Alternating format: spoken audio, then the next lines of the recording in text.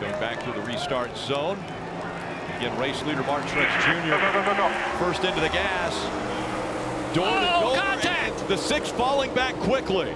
Big crash back here. Here comes Blaney around. Kyle Busch going in. Will they miss the oh. wall? A close call there. Blaney may have gotten into the, he did hard into the inside wall. Heavy damage to the front of that car. Man. That must have been a pretty hard impact. We don't see these cars suffer that much damage. Just recently, with the improvements to the front and rear clip, they've made them a little more collapsible so that they do uh, collapse so that the driver doesn't take so much of the, the blunt of that force. You can see right there above the car where the car impacted this wall on the inside. AMR safety crew immediately to Ryan. That is heavy damage. The front of that car is really destroyed. Yeah. That wall right there, concrete wall on the interior of this racetrack. You put safer barrier all the way around this place on the inside, outside. And you sometimes don't put it somewhere. Cars have a way of finding those areas. We've went through this on all types of circuits throughout the series. Cars go in places you never thought they would.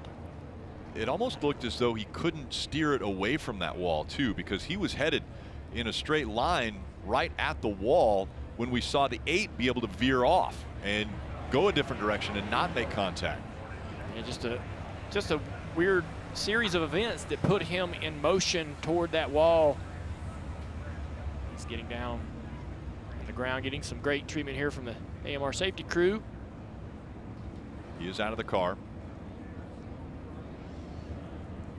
Will make the mandatory trip to the infield care center to get checked out. Doctor that travels all the time with the AMR safety crew down there. Let's take another look at what happened. So the six car struggles, and you have to wonder how that stacked up everything here. Kyle Busch gets in the back of the 12 and turns him around.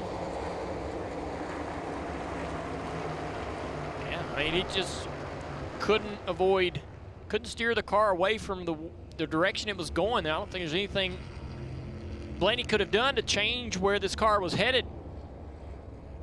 Yeah, that all started way ahead of him, and right there, oh, that is such a massive hit. Yeah.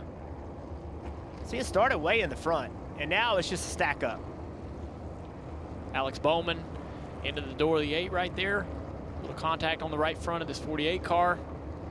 Blaney gets off the brakes, trying to hope that that car is going to start to turn and he can correct it.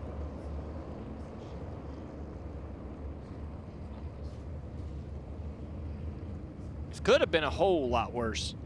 You know, the car not being able to accelerate.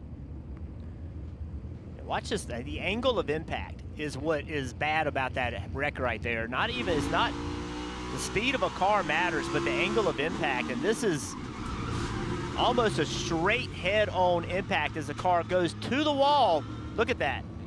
You know, look at the look at the left front and the right front. The right they almost hit at the same time, and that is that's how it's just very hard to absorb that energy. It, if it hits a glancing blow, it does not have near the G-forces. But when it's head-on like that, it's it is a ton of G-forces.